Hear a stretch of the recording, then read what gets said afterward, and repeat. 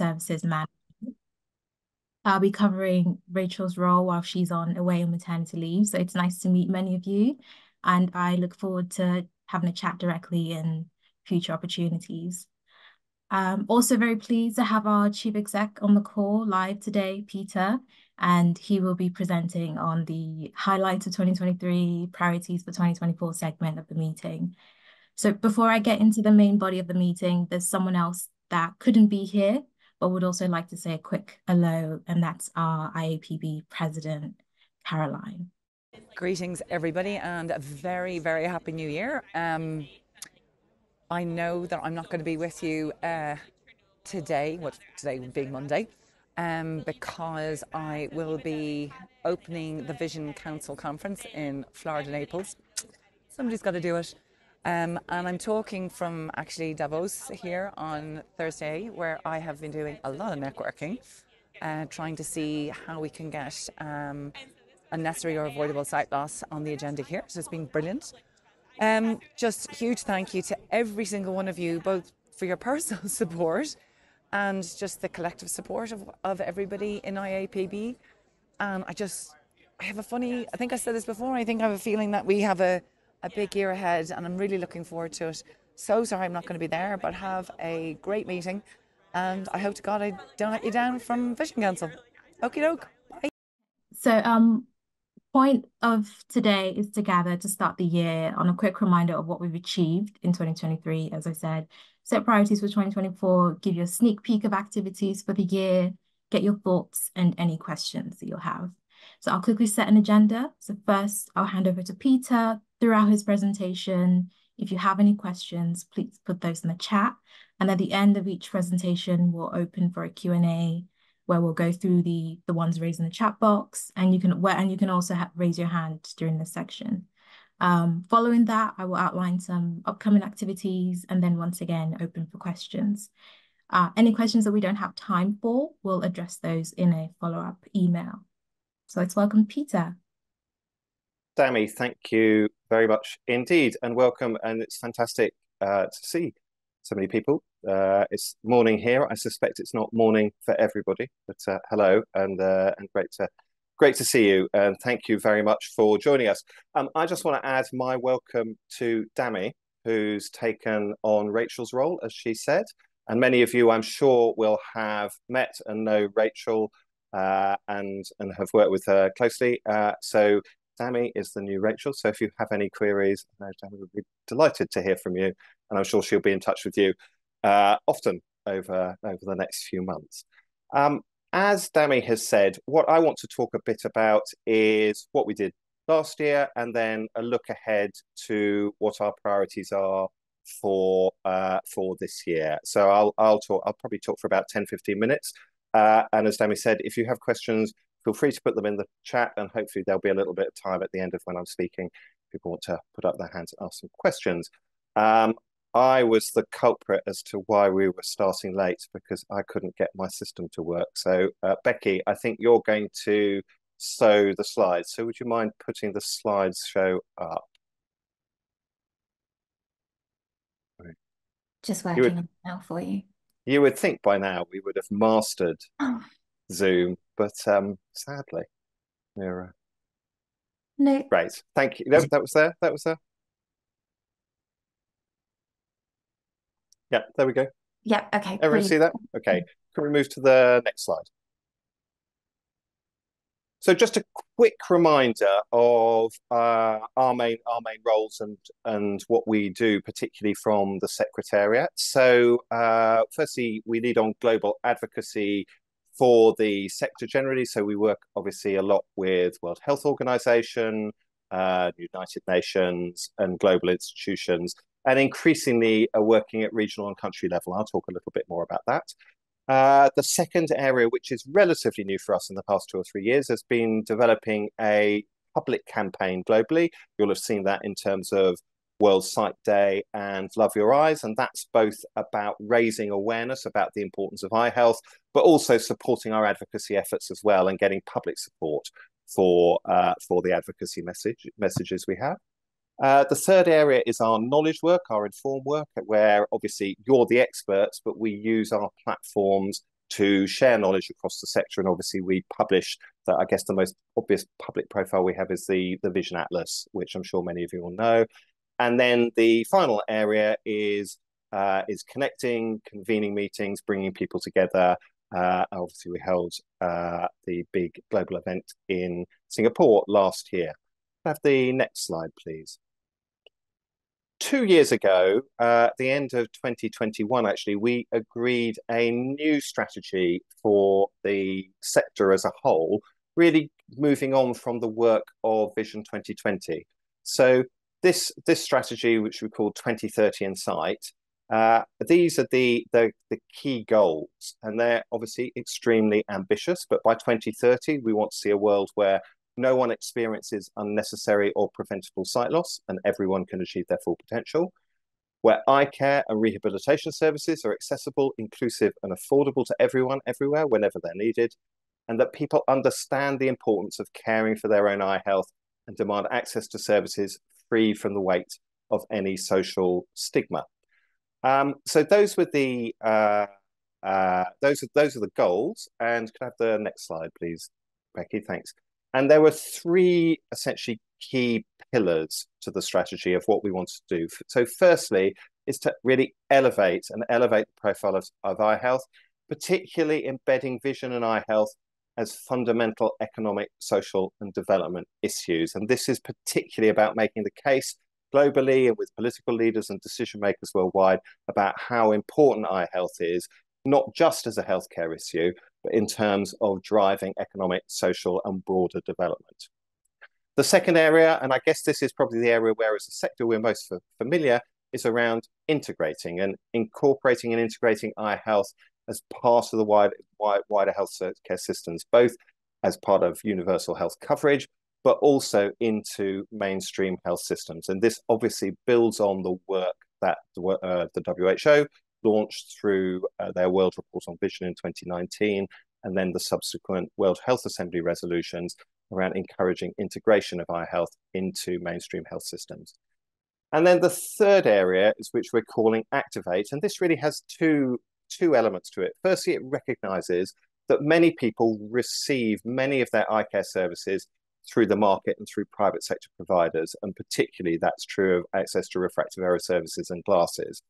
But often though but if that's going to work those services need to be affordable and accessible so you want to see markets where you can actually provide affordable and accessible glasses and at the same time need people to be aware of their needs for eye health and eye care and and demand those services so activate is both about getting those markets to work but also to drive awareness and drive demand for eye care as well uh, could I have the next slide, please?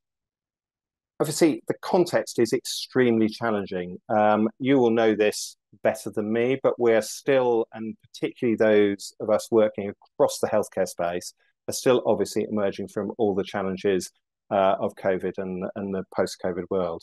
And that, of course, has been compounded by uh, we're really living through an era of global crisis, both political, political and economic crisis. And I'm sure many of your colleagues uh, working at country levels are, are confronting this on a day to day basis.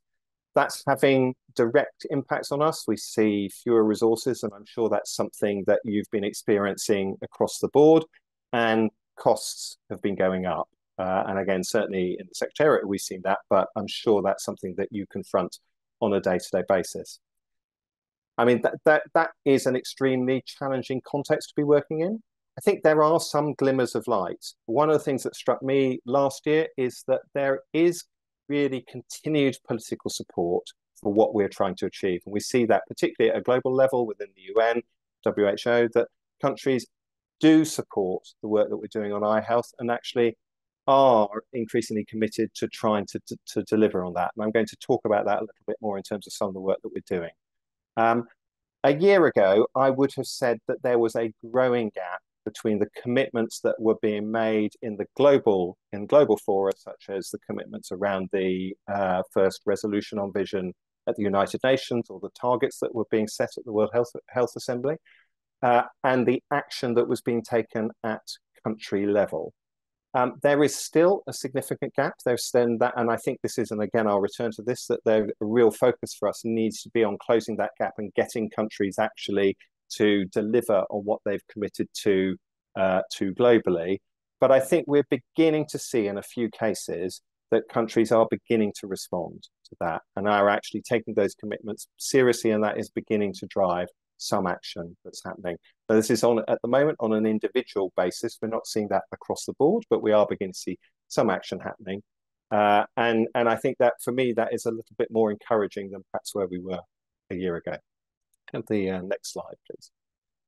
Um, back in the end of 2022, uh, our board um, agreed a number of priorities for the Secretariat that we should focus on over the next three years. So they set the plan for and priorities for us in the period between 2023 and 2025.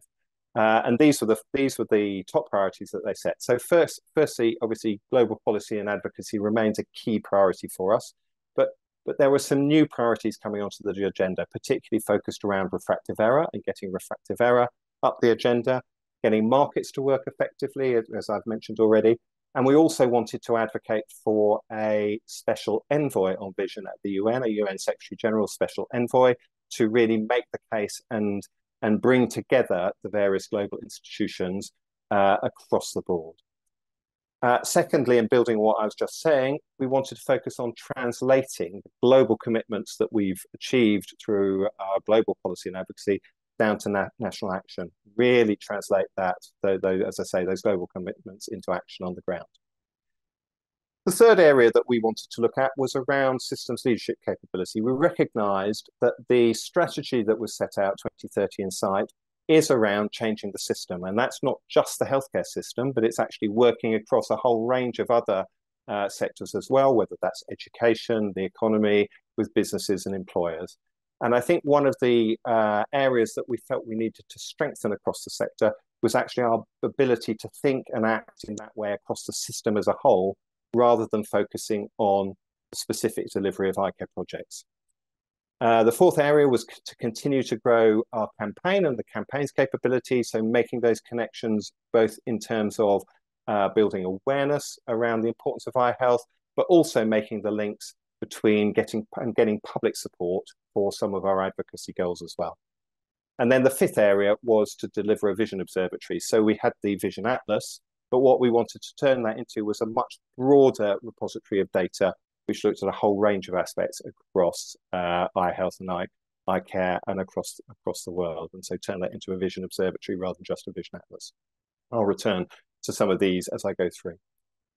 So let me look at what we have been doing and some of the highlights of what uh, we've done over the past year. So firstly, if I look at the Elevate and the Global Advocacy Agenda, uh, a few things we were, we've been holding in, in the UN, uh, where we've seen, we've really seen continued commitment from, uh, from UN lead, from leaders at, at the United Nations. So back in September, we held a breakfast meeting alongside the UN General Assembly. Uh, which was attended by we had three prime ministers there and 15 other ministers from 50, 15 ministers from 15 other member states uh, and a number of the global institutions. And it was actually a really successful, it, it really was a successful meeting in terms of the kind of level of commitment and engagement that we got from the people who came along. Normally, these things, people come along, they make their uh, presentation, and then they run away and leave. We actually had most of the ministers staying there for half an hour longer than actually it was in it was scheduled to to last and actually that was a reflection of the fact that actually many of them were really quite personally committed to the to the agenda. Uh, and i think it's quite encouraging. And i'll return to some of the conclusions we've drawn about what we then need to do to build on that kind of support. Um, we also held a photo exhibition in the united nations on eye health and eye care uh, around World Sight Day, and that was quite well attended with people. That was in the main UN uh, foyer, so a lot of people actually got to see it.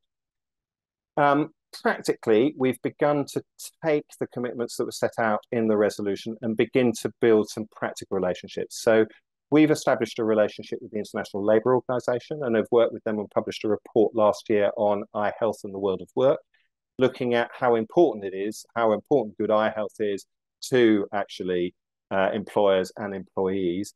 And we're now working with the ILO to actually turn that into practical action so that we can engage employers and get them much more focused and get them focused on how they actually ensure that their employees have access to, to eye care and to good quality eye care that they need.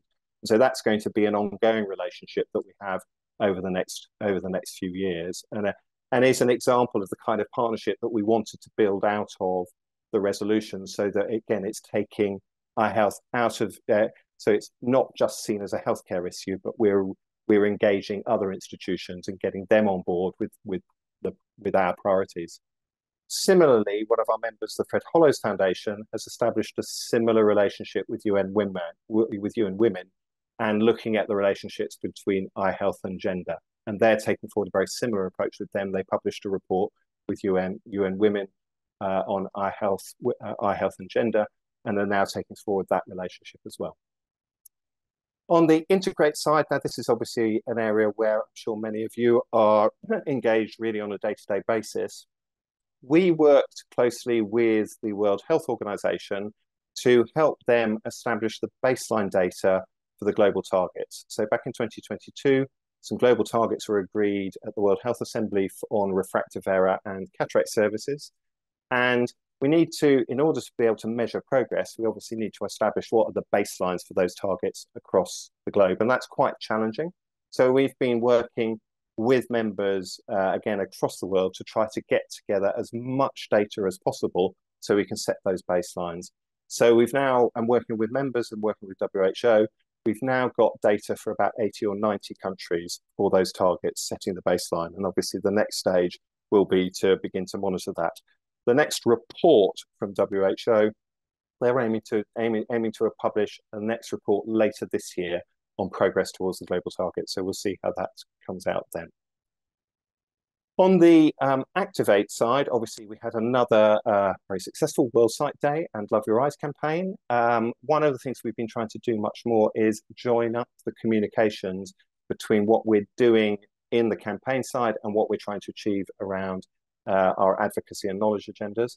So, particularly this year, we focused on eye health and the world of work, and that obviously joined up very closely with the work that we've been doing with the ILO, made and was deliberately made to make that link between what we are doing there and the, with the policy work we were doing on uh, eye health and work and what we were trying to do on the campaign side. Could have the next slide. Becky, could I have the next? Thanks. Um, so these are, I'm not going to read all the figures, but these were some of the figures uh, around uh, what we achieved on uh, World Sight Day. So we had a target again of this time of 10 million pledges for sight tests, and actually we got over 13 million, which was great. Um, obviously, these numbers are very big. One I'm particularly focused on is the social media impressions. So these are the individual contacts from individual people who uh, looked at the work that was going on around World Sight Day. So we had uh, for, over 466 million social media um, uh, impressions uh, over World Sight Day. So we're we're reaching almost half a billion people, uh, and that's obviously is all the work that members are doing across the world, which which means that and and that has really been our ambition to turn World Sight Day into a properly global campaign. And I think now that we're reaching you know almost half a billion people, we're we're certainly well on the way to achieving that. Um, it, the advertising value equivalent figure. So what that is is if we if we were going to spend money on advertising to have the kind of impact that we have through the work that we do on Love Your Eyes and World World Sight Day, we would have to spend over fifty over fifty million dollars to achieve it. And I think that's just an example of quite what the level of impact that campaign is having. The next slide, please. Uh, and then uh, we were also getting re reach into the traditional media as well. Now, that was focusing particularly on Love Your Eyes at work and the work that's going on. We had over 170 pieces of coverage, reaching almost 52 million readers uh, in the traditional press. Uh, and these are some of the outlets where uh, where articles were carried. So it gives you a sense of, again, the spread. And this was, again, uh, all over the world that we were seeing, seeing articles being carried. The next slide, please. So then the final areas that um, I want to touch on is just uh, just as uh, some of the internal side of things. So we recruited 30 new members last year, which is great. Uh, so we've now got almost, I think we've got more than 200 members of IAPB, which is great. We obviously held the event in Singapore, and as I mentioned, we're off to Mexico uh, this year. So I hope many of you will be able to join us there. Uh, one of our new members and one of our new partners is the Islamic Development Bank. And I think that's important because, again, it's about reaching out to new funders who won't just fund us, but will fund support across the sector. Uh, and then the final area that I just wanted to mention was we've been doing some work on actually establishing some indicators for the strategy so that uh, we can actually measure progress on implementing 2030 Insight. Um, Becky, could have the next slide uh, for that. Um, so we've what we've um, uh, done is we've established uh, a set of core summary indicators for each of the elements of the strategy for Elevate, Integrate, and uh, Activate, and to uh, measure progress. And we've developed two new tools for both tracking commitments that countries are making, though that's that's the uh, for the Elevate area, uh, and for monitoring progress on integration. And if you um, click on these QR codes, uh, they will take you to the commitment tracker, which measure, measures those commitments, and the progress survey, which helps us assess progress towards uh, integration. Uh, and so those QR codes will show you that. We'll circulate the presentation after this, so you can um, can can do that after uh, after the the session. Um, we've so far been able to report on progress in 23 countries uh, from last year, but we're aiming to collect data for 70 countries a year. To do that, we're going to need all of your help in terms of in terms of responding to this. So we will we can't do this ourselves. We absolutely rely on members to help us do that and using the QR codes and the links for doing that. Um, we're aiming to publish a full set of country data on the new Vision Atlas, which we're aiming to develop during this year, so that this will all be publicly available and all be available to see uh, on the new Vision Atlas. Could I have the next slide, please? Um, so, oh, go go back one slide, thank you. Um, we're we're also developing a tool that enables uh, national level members and partners to map the implementation that you're doing at country level. And again, this QR code takes you to the uh, to the link where you can complete an online survey to show that. And again, we aim to publish that and show have a map that's uh, available online through the Vision Atlas to to show that progress that members are making as well. Uh, so this is all about showing the progress that across the board we're making in terms of delivering 2030 Insight. Could I, um, could we go to the next slide, please? So there are some things that we didn't achieve. Um, so we did not get a, uh, a special envoy on Vision. Um, we've we've now had over, I think it's almost 80 member states have signed up and have called on the Secretary General to appoint a special envoy. We've had over 150 members uh, and other organisations call for it as well. However, um, the, at this stage, the Secretary General has has basically said he doesn't plan to appoint an envoy. I think in part it's because he doesn't want to appoint any envoys at all, not just specifically one on vision. However, we will continue to campaign this. We do think this is something that would make quite a significant difference. So we will continue to campaign for a special envoy and uh, and keep pushing. But I suspect it will take some time to achieve that.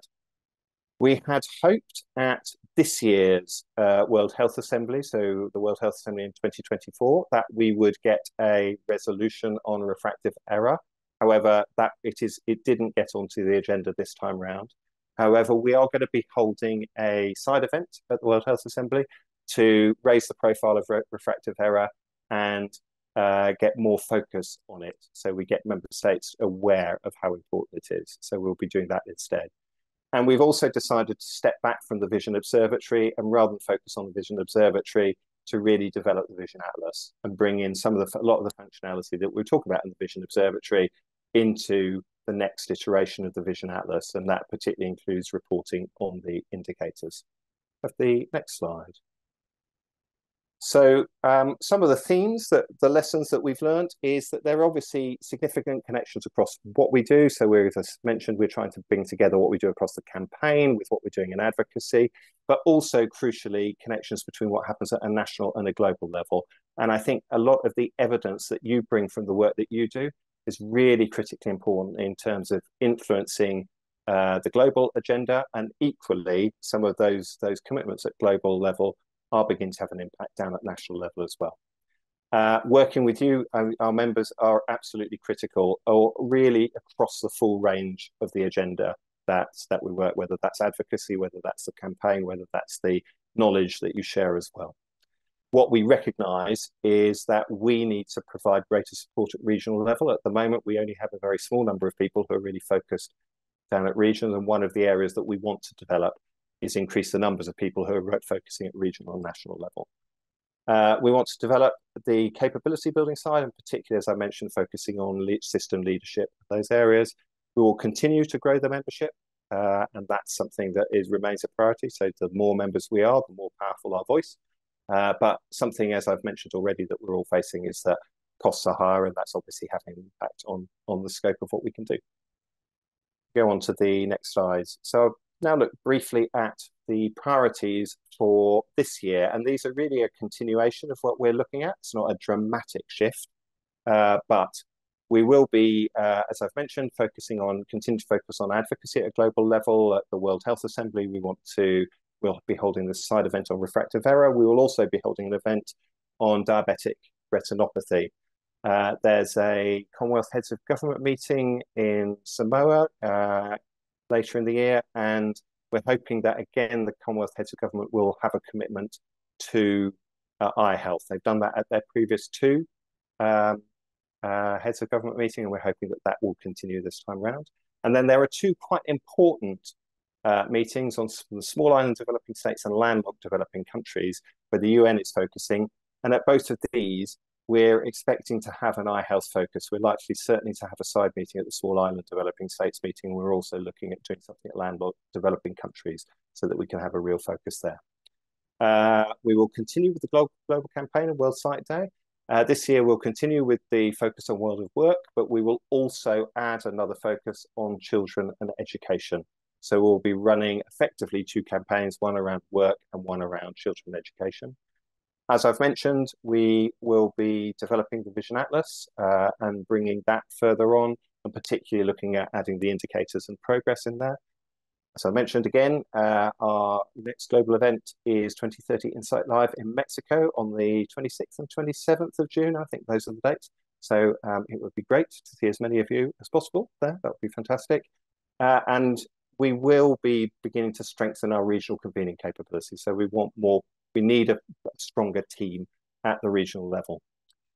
We've decided to focus on eight focus countries in particular to support them and particularly focus on how we can implement the strategy at a country level, particularly obviously working with members in those countries.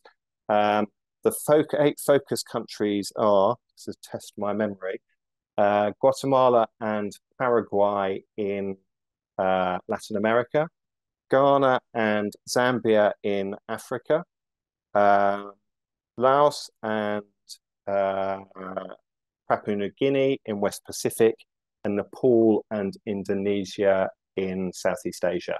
We're only having focus countries in those regions where we actually have a, uh, a regional coordinator or somebody who can actually lead that work. So that means that we don't currently have focus countries in Eastern Mediterranean or Europe or the Americas, but we're hoping if, if we can develop teams there, we can bring that on as well. And then, as I've also mentioned, we want to, we will begin to develop uh, some courses and events around developing system leadership capability in the sector as well. And we'll begin to, you'll begin to see some of that coming on uh, and opportunities around that uh, in the coming months. Could I have the next slide, please? So the final thing I want to touch on is an ambition we've got for 2025. And at the moment, this is an ambition. This isn't absolutely set in stone. But building on the event that I mentioned that we held at the UN uh, in September, we think that this the time is right to try to hold a global summit on eye health. uh, and bring together political leaders from around the world, global institutions, and funders as well to really have a real priority on eye health and to get both government and member state commitments, but ideally financial commitments and real commitments to practical action to deliver uh, the UN resolution that, that countries have signed up to. Now, as I say, this is a an ambition. Uh, we don't yet have a venue or a date for this, but th this is something that we think uh, should be a priority for us and that we are really aiming to deliver. And as we begin to develop this, we will obviously keep you informed, uh, but I'm sure we will need all your support if we're going to make this a success. So at that point, I shall uh, wrap up and perhaps ask if there are any questions.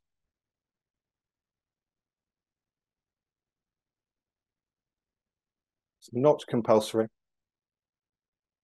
Um, um, Peter, I have a question. This is Jeff Todd at Prevent Blindness. Hi, Jeff.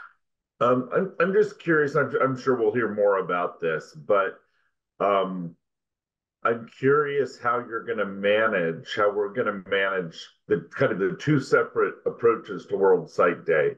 Um, are you you know, I'll just share that, you know, we're already thinking about the school stuff, and I think that's going to be really exciting. Um, I'll have to think through whether or not we'll kind of do both things, or are you um, hoping that members kind of choose one or the other, or or jump on the whole thing, or is it more or more to come? yeah, so I so probably more of the more to come, but uh, I think the thinking is that uh, we wanted to give more more choice to members. So we recognised last year the focus on World at Work was was really successful, but for some members it it doesn't really doesn't really hit what they're what they're focusing on, what their priorities were, uh, and and so we felt that uh, you know children has been uh, on our list of priorities for some time. We felt offering offering the opportunity to look at children as well would enable some members who maybe don't find World of Work as something that would they would necessarily naturally focus on. It might give them the opportunity to have a priority that they could focus on as well. So so we're definitely not looking for people to do both. Equally, if people feel they can do both, obviously that would be great. But but it's really more to offer more opportunity.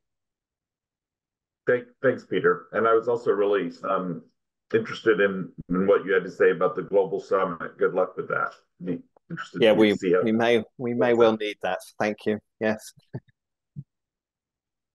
Frank, you've got. Hi. Um, in um, the seventh sixth World Health Assembly, uh, which took place in May 2023, it was approved a resolution of the health of indigenous people, and the resolution recognized the significant uh, significant uh, health disparities faced by indigenous people around the world. And this resolution called for action, the strengthened health systems and services to better meet the needs of indigenous people worldwide and um, promoting this participation of indigenous people in health decision making and addressing the social uh, uh, um, determinants of health that contributes to indigenous health. Is there any agenda of IAPB with WHO in this matter? Yes, thank you, Frank. Um, uh, it's it, it, it, obviously is an important area, and, and the resolution itself obviously would cover eye health as much as any other uh, health issue. We actually have a small subgroup that is working specifically on Indigenous issues and uh, and the, the issues facing Indigenous people and eye health. So Frank, if you're interested in that, we can. I'm very happy to connect you up with that group who are, who are specifically looking at those those questions. Okay, thank you. Um, we'll we should have some time for more questions at the end. So if, they, if something occurs, please feel free to uh, to either put it in the chat or ask it ask those questions at the end. But I'm going to now hand over to Dami, who can talk more specifically about some of the activities that we've got coming up over the next few months. So, Dami, over to you. Thank you, Peter. Thank you, everyone. I'll just quickly share my screen.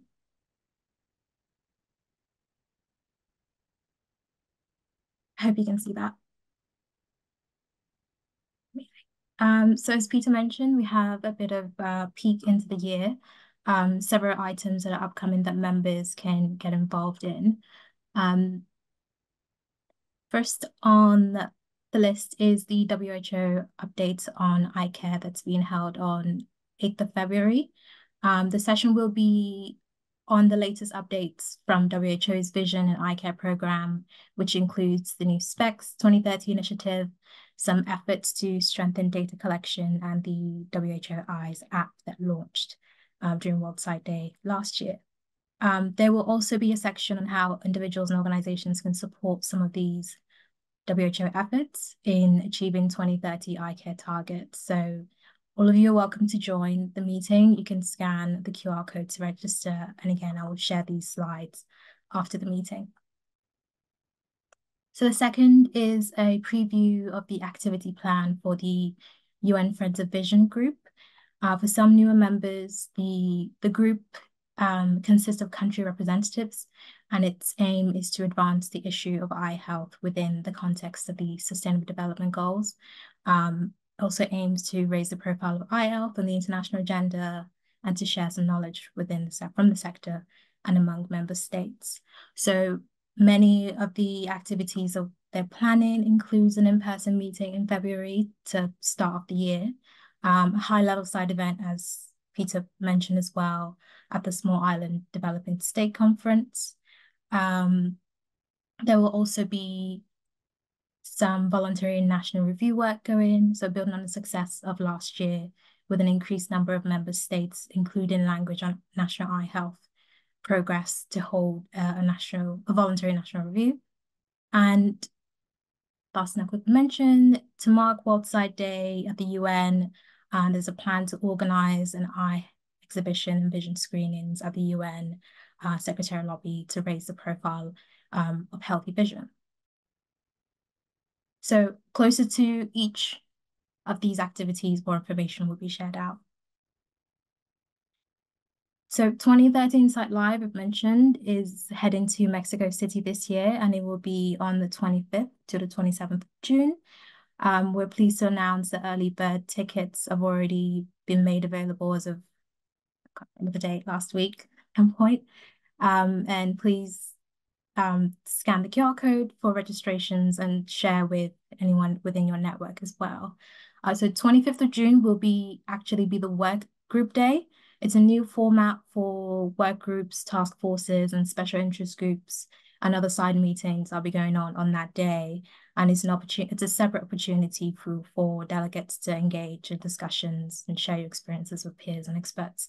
You can sign on for that day as you sign on for the the main event. So next course, Love Your Eyes, will be ongoing this year. World Sight Day will fall on October 10th. Um, there's still massive potential to maximize this, uh, the Love Your Eyes at Work, as we mentioned, and the outcomes of the International Labour Organization policy brief. Um, and as we finalize the themes around Love Your Eyes at Work or Love Your Eyes Kids, um, we'll keep you updated on what that means and the activities that we have that we'll have planned. Then next thing I briefly want to explain is um, so last year we've had some reviews on how member engagement groups are structured. Um, so member engagement groups refers to the different group types in which members can engage with each other and the Secretariat at IAPB. So we have 17 groups and they fall under four group types. Um, they're highly valued, as you can see by the, the feedback. 85% um, of people would recommend the groups to people within their network. But despite these positive feedback, there are some areas that um, were considered that improvements could be applied to. So these are the six uh, major re main recommendations. And it was also recommended that the variety of group groups should be rationalized. So the first is into we'll establish two work two groups. The first is work groups, and the second is strategy implementation groups.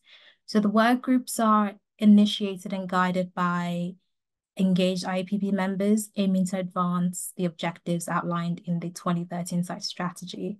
The scope can include advancing areas of the strategy, promoting knowledge, best practices related to eye health, leveraging the collective expertise and insights of the membership. The strategy uh, implementation groups, they will be initiated and led by the Secretariat with the goal of action in specific elements of the strategy. So the group will typically be made up of IAPB staff, some subject matter experts, and relevant members. Um, the primary function will be to support and guide strategy implementation. Now, this is still um, being discussed in terms of how it's going to be implemented. Um, so communications is planned to be coming to everyone before June. Um, so even if it seems a bit vague, we'll, we'll make sure to update you with some clear information uh, later on. And like that, that is everything. So I'll stop sharing my screen. If anyone has any questions. Any questions either from what you've heard from Dami or anything that's occurred to you about I was saying earlier as well?